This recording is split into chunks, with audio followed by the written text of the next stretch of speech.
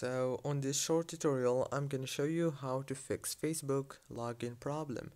So all what you want to do is open the settings and go to the wireless ad networks and then go to the airplane mode enable it for 15 seconds and then disable it.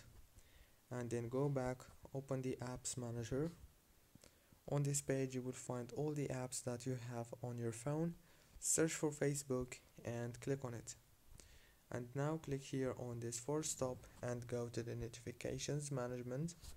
Disable the notifications and enable them back. Go back and now open the storage option here.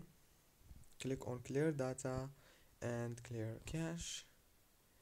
And then click on open by default. Click on open supported links in this app and choose always allow and the last thing you want to do is make sure to update your Facebook in the Play Store or the App Store.